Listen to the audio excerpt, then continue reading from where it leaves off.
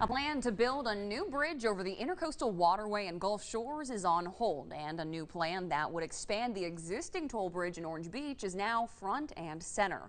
All of this in an effort to find the best way to move traffic on and off Pleasure Island. Or is it? WKRG News 5's Debbie Williams is live in Orange Beach. And Debbie, the toll bridge behind you is very busy, and it could get a whole lot busier if this new plan is approved. Absolutely. You know, and this could be good news for locals and for tourists, but it does put on hold a plan that would have provided another way on and off the island. Thousands of motorists pass through these toll booths every year to get to Alabama's beaches.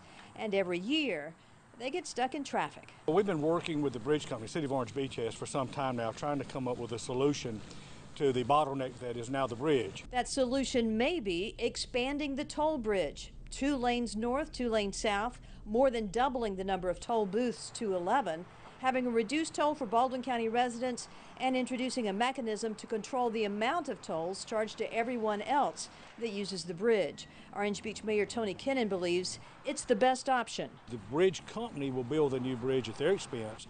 They will pay for the expansion of the toll booths, the fly-throughs, and the electron at their expense. It won't cost the Alabama taxpayer a dime. The new plan has put on hold a proposed new bridge in Gulf Shores connecting Foley Beach Express to Canal Road.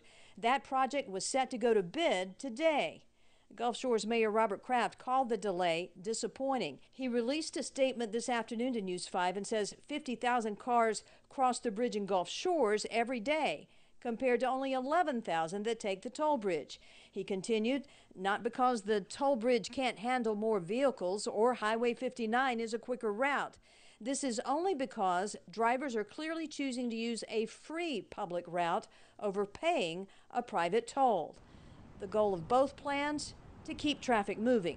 The bridge toward Gulf Shores is not going to be the most efficient way to move traffic. However, if we can't work with the bridge company, that will be our only choice. Now, the city of Orange Beach does get 30 cents for every vehicle that goes over that bridge. That's about $1.4 million a year. Although Mayor Kennon says that's not the incentive, it's to keep traffic moving.